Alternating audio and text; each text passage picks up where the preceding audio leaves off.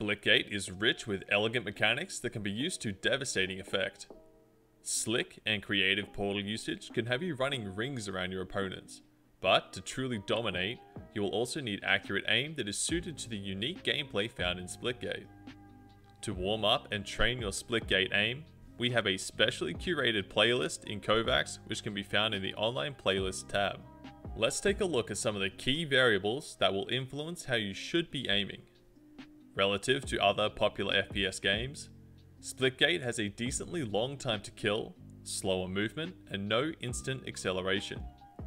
To clarify that last point, a game like Overwatch has instant acceleration, so you can change direction instantly, leading to extremely effective left and right strafing known as AD strafing.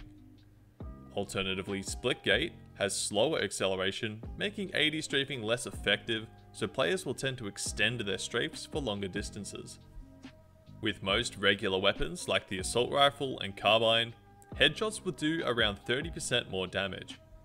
Aiming for center of mass and landing only body shots won't cut it if you're planning on dominating lobbies. These variables combined mean aiming in Splitgate focuses heavily on precision rather than reactivity. Generally speaking, Splitgate tends to favor medium to lower sensitivities that offer higher accuracy as their usual downside of being penalized by erratic enemy movement doesn't really apply. Try not to get too caught up in converting a mouse sensitivity to Splitgate.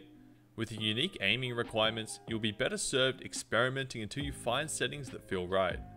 To speed up that process, and to better utilize a lower sensitivity, we recommend giving yourselves a few throwaway games to test it, starting with something that feels way too low, and then incrementally increasing it every couple of engagements. Take note of when your settings start to feel good and when it starts to feel too high and you're suddenly over aiming and you know you've gone too far, you can just wind it back a notch or two to hone in on what sensitivity let you perform best. Smoothbot Switch Robots is excellent for dialing in both vertical and horizontal tracking against long strafing targets, much like you would see with players jetpacking around or launching themselves through portals.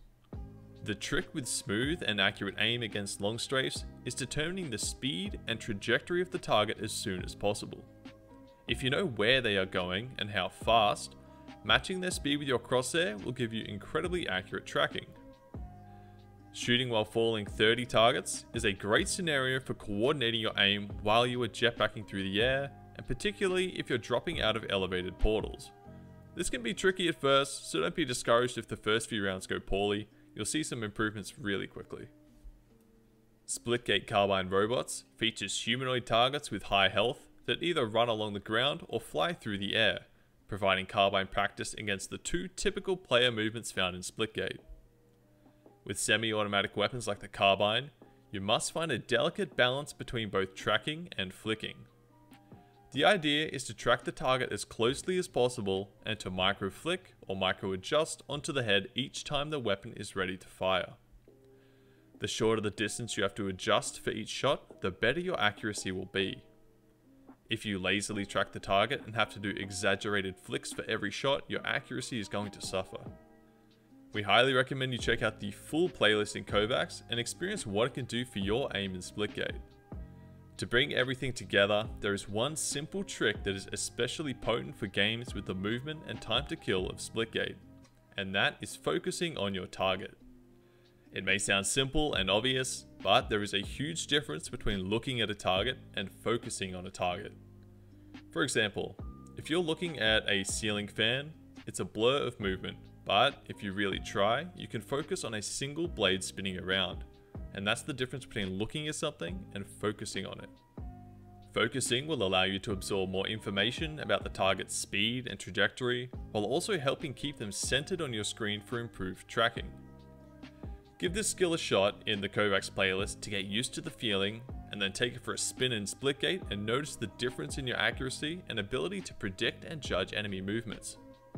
Thanks for watching. If you found this helpful, please give it a like.